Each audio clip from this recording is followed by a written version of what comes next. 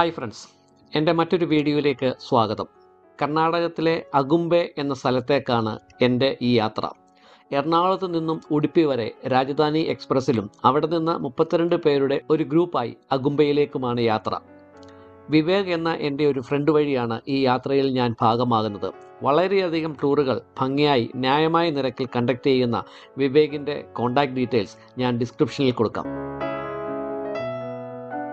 കർണാടകത്തിലെ ഒരു ചെറിയ റെയിൽവേ സ്റ്റേഷനാണ് ഉടുപ്പി എന്നാൽ മാൽപേ ബീച്ച് മൂകാംബിക ക്ഷേത്രം തുടങ്ങിയ വിനോദ തീർത്ഥാടന കേന്ദ്രങ്ങളിലേക്ക് ആയിരക്കണക്കിന് പേർ വന്നു പോകുന്ന ഈ സ്റ്റേഷനിൽ പരിമിതമായ സൗകര്യങ്ങൾ മാത്രമേ ഉള്ളൂ.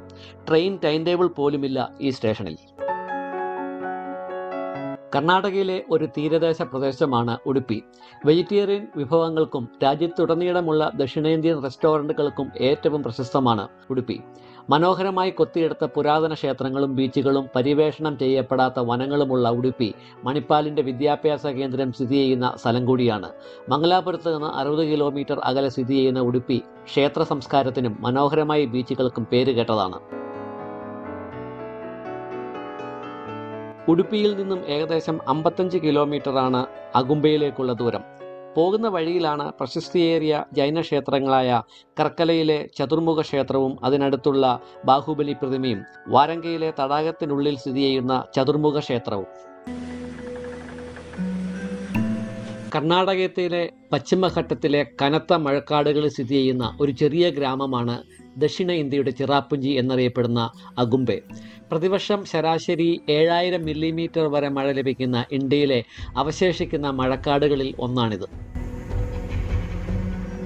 അഗുംബയുടെ ഉയരം രണ്ടായിരത്തി എഴുന്നൂറ് അടിയാണ്. പശ്ചിമഘട്ട മലനിരകളുടെ ഭാഗമായ അഗുംബെ യുനെസ്കോയുടെ ലോക പൈതൃക പട്ടികയിൽ ഇടം പിടിച്ചിരിക്കുന്ന ഒരു സ്ഥലം കൂടിയാണ്. സോമേശ്വര വന്യജീവി സങ്കേതത്തിനും കുദ്രേമുഖ് ദേശീയ ഉദ്യാനത്തിനും സമീപമാണ് അഗുംബെ മഴക്കാടുകളുടെ സംരക്ഷണ പ്രവർത്തനങ്ങൾ ഔഷധ സസ്യങ്ങളുടെ ഡോക്യുമെന്റേഷൻ ടൂറിസം ട്രെക്കിംഗ് ഫോട്ടോഗ്രഫി കുടിൽ വ്യവസായം എന്നിവയുമായി അഗുംബെ ബന്ധപ്പെട്ടിരിക്കുന്നു. അഗുംബയിൽ ധാരാളം കണ്ടുവരുന്ന രാജവെമ്പാലയുടെ സങ്കേതമായാണ് Agumbe rain forest research station സ്ഥാപിച്ചത്. വളരെ പരിമിതമായ സന്ദർശകരുടെ താമസ സൗകര്യമുള്ള ഒരു ചെറിയ മലയോര ഗ്രാമമാണ് അഗുംബെ. ജനസംഖ്യ ഏകദേശം അഞ്ഞൂറ് മാത്രമാണ്. മൂന്ന് ചതുരശ്ര കിലോമീറ്റർ വിസ്തൃതിയിലാണ് ഈ ഗ്രാമം. അഗുംബയിലെ ഗ്രാമവാസികൾ ഉപജീവനം നടത്തുന്ന കർഷകരാണ്. അരിയും അടക്കയുമാണ് അവരുടെ പ്രധാന കൃഷികൾ.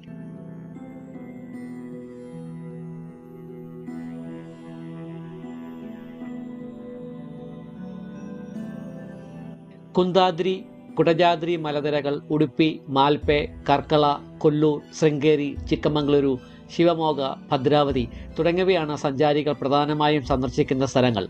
ബർക്കാന വെള്ളച്ചാട്ടം ഒനക്കെ വെൾ അബി വെള്ളച്ചാട്ടം ജോഗിഗുണ്ടി വെള്ളച്ചാട്ടം കുഡ്ലു തീർത്ഥ വെള്ളച്ചാട്ടം സിരിമാന വെള്ളച്ചാട്ടം എന്നിവയാണ് ഈ പ്രദേശത്തെ പ്രധാന വെള്ളച്ചാട്ടങ്ങൾ. ഇന്ത്യയിലെ ഏറ്റവും ഉയർന്ന പത്താമത്തെ വെള്ളച്ചാട്ടമാണ് ബർക്കാന വെള്ളച്ചാട്ടം.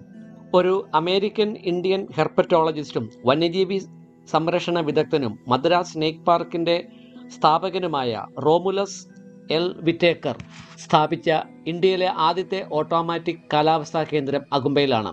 ഉഷ്ണമേഖലാ കാലാവസ്ഥയും ചൂടും ഈർപ്പവുമുള്ള ഒരു മഴക്കാടിലാണ് അഗുംബെ സ്ഥിതി ചെയ്യുന്നത്.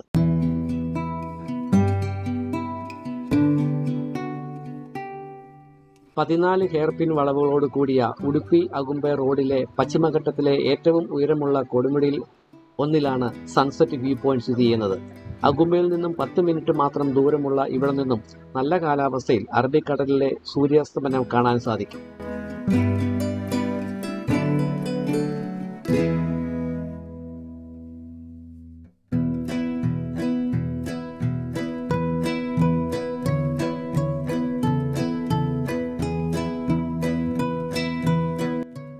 ആയിരത്തി തൊള്ളായിരത്തി എൺപത്തി ആറിൽ ദൂരദർശൻ ചിത്രീകരിച്ച ടി വി പരമ്പരയായ മാൽഗുഡി ഡേയ്സിലെ സാമി എന്ന ഈ കൊച്ചു കുസൃതി ചെറുക്കനെയും അവന്റെ സുഹൃത്തുക്കളെയും ഓർക്കാത്തവർ ആരുമുണ്ടാവില്ല.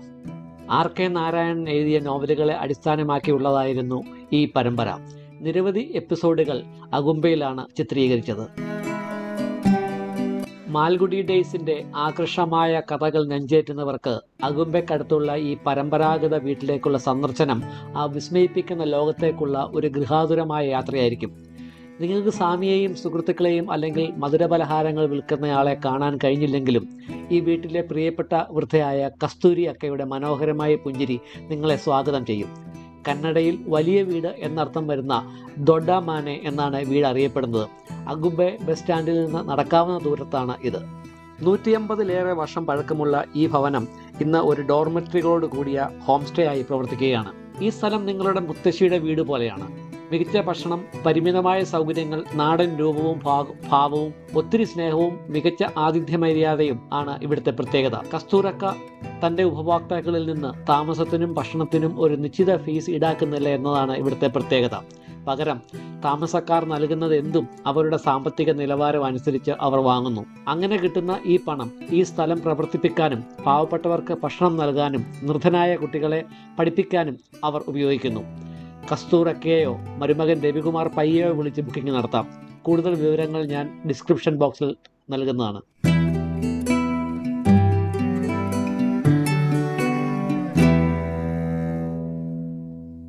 ഭയങ്കര ആൾതാമസം ഉണ്ടായിരുന്ന സ്ഥലമായിരുന്നു. ഒരു കാലഘട്ടത്തിൽ ഞാൻ പറഞ്ഞില്ല ആയിരത്തി തൊള്ളായിരത്തി ആറാം കാലഘട്ടത്തിൽ ഏകദേശം അയ്യായിരത്തോളം ആളുകൾ താമസിച്ചിരുന്ന സ്ഥലമായിരുന്നു ആകുമ്പ എന്ന് പറയുന്നത്. ഇന്നിപ്പോൾ അത് വെറും അഞ്ഞൂറ് പേരിലായിട്ട് ചുരുങ്ങിയിരിക്കുകയാണ് ഈ സ്ഥലം.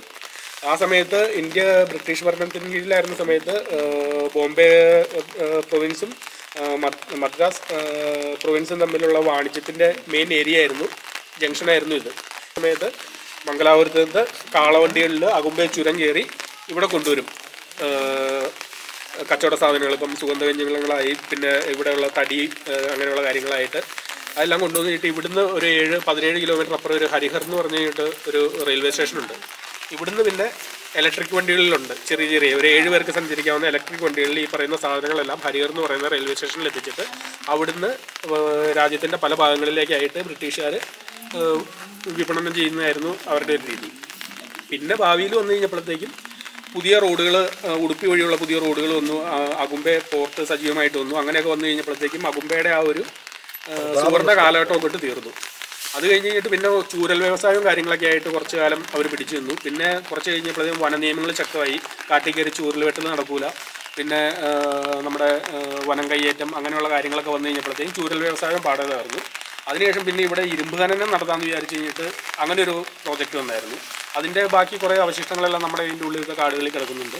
അതും പിന്നെ പരിസ്ഥിതി പ്രശ്നങ്ങളും പിന്നെ ഇവിടുത്തെ പാരിസ്ഥിതിക മൂല്യങ്ങളെല്ലാം മനസ്സിലാക്കി അതും ഡ്രോപ്പ് ചെയ്തു. പിന്നെ ആയിരുന്നു. അങ്ങനെ വന്നു കഴിഞ്ഞപ്പോഴത്തേക്കും ഇവിടെ ഒരു ജീവിക്കാൻ സാധ്യതയില്ലാതെ വന്നു കഴിഞ്ഞപ്പോഴത്തേക്കും ഇവിടെയുള്ള ആളുകളെല്ലാവരും കൂടെ അടുത്ത സ്ഥലങ്ങളായ മംഗലാപുരം ബാംഗ്ലൂർ അങ്ങനെയുള്ള സിറ്റികളിലേക്ക് നല്ല വിദ്യാഭ്യാസവും നല്ല ജീവിത രീതിയും പിന്നെ തൊഴിലും തേടി കുറേ ആളുകൾ കൊഴിഞ്ഞു പോയിട്ടുണ്ട്. ഈ സത്രം പണിത് കറക്റ്റ് നൂറ് വർഷത്തിന് ശേഷമാണ് ഇവിടെ ടൂറിസത്തിന്റെ ടൂറിസ്റ്റുകളായിട്ട് വരുന്ന ആളുകൾക്കും അല്ലെങ്കിൽ അകുമ്പ വഴി പോകുന്നവർക്കും താമസിക്കാനായിട്ടൊരു നല്ലൊരു താമസ സൗകര്യം എന്ന നിലയ്ക്ക് ആയിരത്തി തൊള്ളായിരത്തി ആറിലെ ഈ സത്രം പണിത് കറക്റ്റ് നൂറ് വർഷം കഴിഞ്ഞ് കഴിഞ്ഞപ്പോഴത്തേക്കും ഇവിടെ മല്യ റെസിഡൻസി തുടങ്ങി. അങ്ങനെ മല്യ കുടുംബം അകുമ്പയുടെ ഓരോ കാര്യങ്ങളിലുമായിട്ട് ഉന്നമനത്തിനും അവിടെയുള്ള പല കാര്യങ്ങൾക്കായിട്ട് കുറച്ച് ഇതായിട്ട് നിൽക്കുന്നതാണ്. സഹകരിച്ച് നിൽക്കുന്ന ഒരു ടീമാണ് പുള്ളി.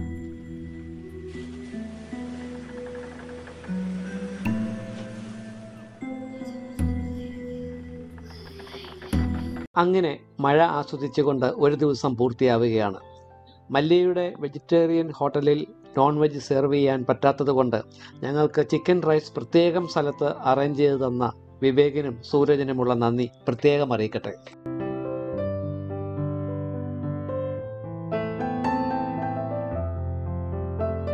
എന്റെ ഈ വീഡിയോ കണ്ട് നിങ്ങൾക്കും അകുമ്പയ്ക്ക് പോകാൻ ആഗ്രഹമുണ്ടെങ്കിൽ അതിനുള്ള ചാൻസ് ജൂലൈ ഒമ്പതിനും പത്തിനുമുണ്ട് സുരേഷ് രവിയെ കോൺടാക്ട് ചെയ്താൽ മതിയാവും. ഈ വീഡിയോ നിങ്ങൾക്ക് ഇഷ്ടമായെന്ന് കരുതുന്നു. വീഡിയോ ഇഷ്ടപ്പെട്ടാൽ ചാനൽ സബ്സ്ക്രൈബ് ചെയ്യാനും വീഡിയോ ഷെയർ ചെയ്യാനും മറക്കരുതേ.